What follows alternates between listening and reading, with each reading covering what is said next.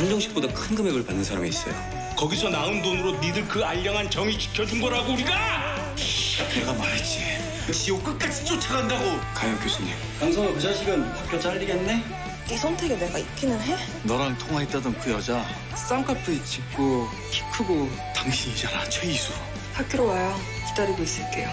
내가 알아서 처리한다잖아요. 긴급 체포합니다. 도마에 잡아라 팀장님. 이게 지금 뭐 하는 거야